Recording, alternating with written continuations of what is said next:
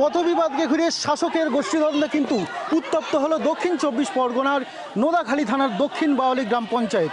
শাসক, উপপ্রধান, তার হাতেই আক্রান্ত হতে হলো পঞ্চায়েত সদস্যকে।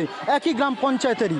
ঘটনাস্থল দক্ষিণ চব্বিশ পরগনার নোদাখালী থানার দক্ষিণ বাওয়ালি পঞ্চায়েতের এই এখানেই। কিন্তু এই যে রাস্তা, এই রাস্তাকে ঘিরেই যত গণ্ডগোলের সূত্রপাত, এই রাস্তাটা দিয়েই কিন্তু কিন্তু যে মূল রাস্তা, যে গ্রামের যে মূল রাস্তা, ঢালের রাস্তা, সেখান থেকেই কিন্তু পঞ্চায়েতের যে সদস্য, যে যাকে মারধর করা হয়েছে বলে অভিযোগ, যার পরিবারকে, তার কিন্তু বাড়ি সেই পুকুর সীমানা। এবং সেই বাড়িতে কিন্তু যাতায়াতের জন্য দুশো মিটার লম্বা এবং প্রায় হচ্ছে সাড়ে পাঁচ ফুট চওড়া এই রাস্তা বিশিষ্ট যাতায়াত করতে হয়। এবং এই রাস্তা কিন্তু ঢালের করার জন্য পঞ্চায়েত থেকে টেন্ডার পাস হয়। এবং তারপরেই কিন্তু এই রাস- রাস্তাকে ঘিরেই বিবাদ যত গড়ায়। পঞ্চায়েত উপপ্রধানের বিরুদ্ধে মারধরের অভিযোগ ওঠে বাড়ি চড়াও হয়ে এবং এই ঘটনায় কিন্তু পঞ্চায়েত যে সদস্য অভিযোগকারী সেই সদস্য কিন্তু নোদাখালী থানায় বিষয়টা অভিযোগ জানিয়েছেন পঞ্চায়েতের উপপ্রধানের বিরুদ্ধে দেখা যাচ্ছে এখনও পর্যন্ত সেই বিবাদ চরমে পৌঁছেছে।